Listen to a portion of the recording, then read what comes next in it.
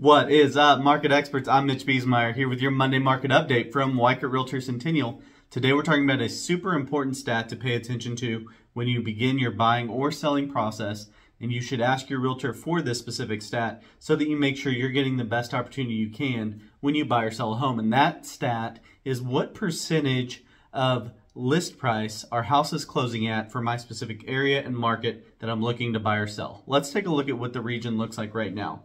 So if you look at our just regional data, this is kind of city by city, what we're seeing, and this is the last 90 days, homes that have closed. So you can see everything's pretty close to 100%. If we would have looked at this a year ago, uh, we would have been over 100% in most of these areas. But now we've dropped back down below, but homes are still on average closing between 99 and 100% of list price what this means for you if you're selling your house and you're working on that estimate, trying to figure out what your proceeds are going to be, kind of assume that 99% from market price um, is what you're expected to get in terms of an offer. If you're looking to buy, there may be an opportunity to, to write an offer, you know, 1% less than list price. Um, and maybe even more depending on your specific market or area, but make sure your realtor can give you that info. If your area is not covered here, we can get you uh, your numbers for your area. Just let us know. We'll see you guys next Monday.